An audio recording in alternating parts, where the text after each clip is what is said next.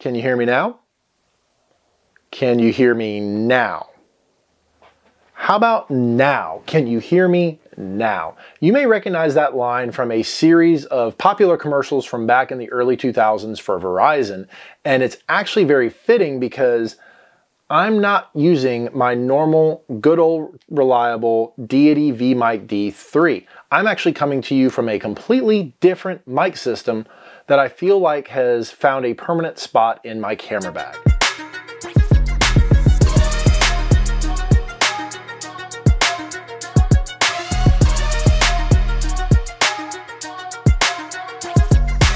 And the mic system that has replaced the Deity with a permanent spot in my camera bag is the 7RYMS iRay DW20 set. And honestly, I've probably spent way too much time over the last six months to almost a year looking at wireless mic systems. I looked at the DJI wireless microphone system, I looked at the Rode Wireless Go 2s, and I looked at everything uh, below those as far as price goes. Those two are really on the high end of price and features, but I wanted something more in my budget range. And so I was looking at things under a $100, but then I started to think, you really sometimes get what you paid for. And I didn't want to be back to square one in one to two months looking for something that gave me better audio quality, gave me better features. And that's when I found the 7RYMS mic system on Amazon. Now, before we get into any of the features and the specifics of this, I'm just gonna go ahead and come clean and tell you that I am no audio expert. I have proven it time and time again that I am really bad at audio. So a lot of this is going to go way over my head, but I need to list it out for you anyways. And the first thing is that this is a 2.4 gigahertz dual channel wireless microphone. And the two parts of that that I do understand are dual and wireless. And that means that I'm actually able to have two transmitters going into the same receiver and it's wireless. That's about the extent to what I understand with this system going in, to be honest. But what I can tell you is that the three main pieces that come in this kit are all very small and very compact. They measure about 1.77 inches by 1.77 inches by 0.86 of an inch. They have 48 kilohertz 24-bit audio recording. What I do know about the system is that you can adjust the level of each transmitter by about 12 levels and 7RYMS claims that the transmitter will give you crystal clear audio up to about 328 feet or 100 meters. Two other quick features to note about this system are the LCD screen on both transmitters as well as the receiver, as well as 7RYMS claims that these units can give you up to six hours of battery life, which I gotta say, I'm pretty sure that's pretty accurate because I've been doing a lot of testing and I've yet to charge these outside of the initial charge. And an interesting thing about the USB-C port on the receiver is that that allows you to take audio from the receiver and give it to your cell phone if you use USB-C like my Galaxy S9 does. And while I know we've already kind of gone over the main things that come in this kit, I still want to do a little bit of unboxing for you just so you know exactly what comes for about 165 to $180 depending on tax, depending on shipping. The first thing you're greeted with is this really nice travel case.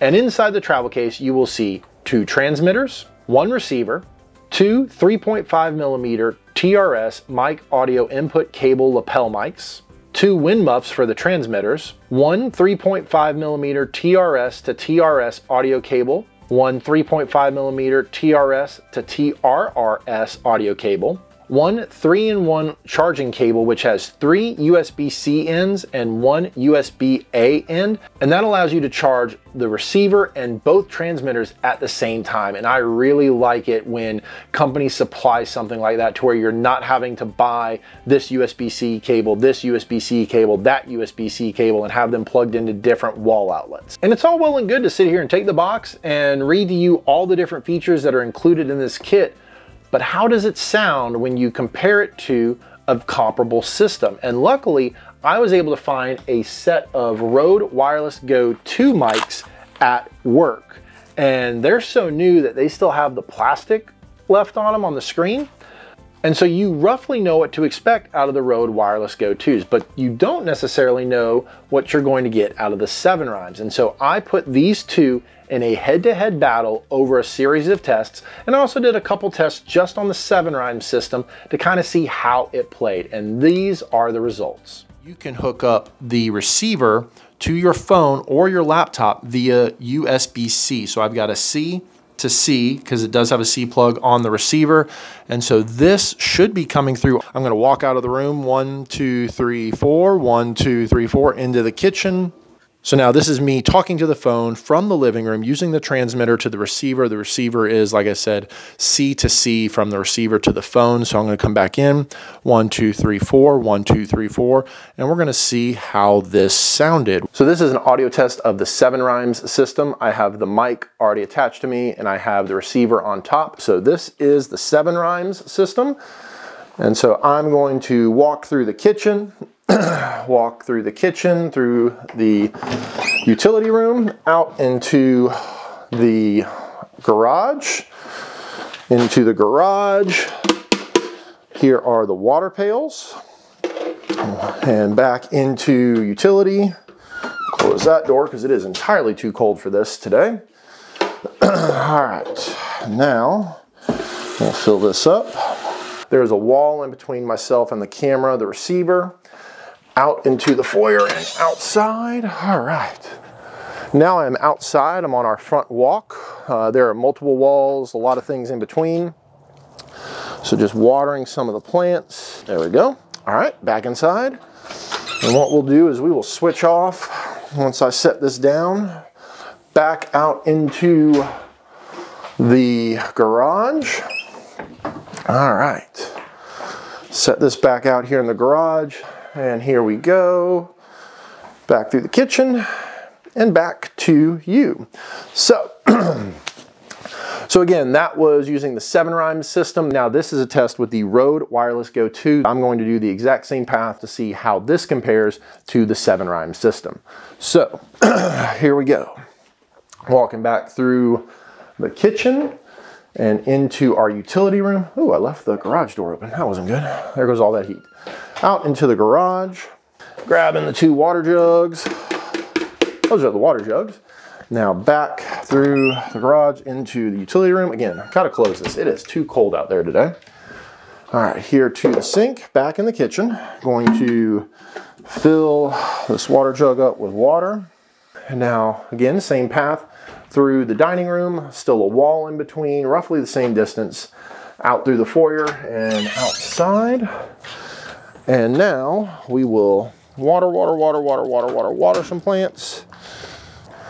Mums, mums, mums. All right, and I probably have one more watering to do, but for this test, that is good enough. Back through the dining room, into the kitchen. Again, this is the Rode Wireless Go 2 set, a set that I have through work. Uh, so that's how I'm able to do this comparison, thankfully. It was really cool to find this in the office the other day. My coworker Kevin and I are both pretty excited about it, not gonna lie. Back through the kitchen and now into the living room, back to y'all. This will test the 7RYMS system. I have the transmitter. I will put the lapel mic on in a minute for that test, but this is the 7RYMS transmitter to receiver plugged into my R, and this is just a distance test. Going to talk one, two, three, four, over 30 yards now. One, two, three, four. And now we're into the far end zone. And so I am at the far end zone. This is the farthest point away from the other camera, uh, from the receiver. This is testing the 7RYMS system. One, two, three, four. And again, there's nothing in the way here. And I'm just gonna retrace my steps. I'm gonna come up here to, from the end line to the end zone, and now out of the end zone and coming back.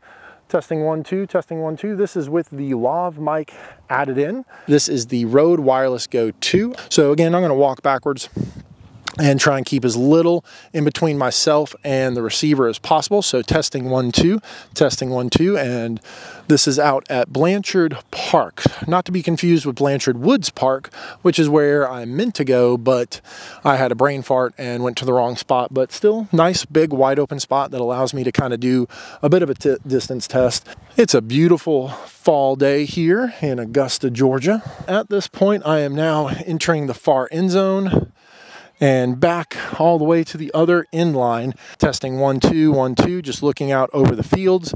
One, two, three, one, two, three, four. And what I will do now is I will plug in the provided lav mic into this. So excuse that for a second. And now again, this is now the lav mic on the Rode Wireless Go 2.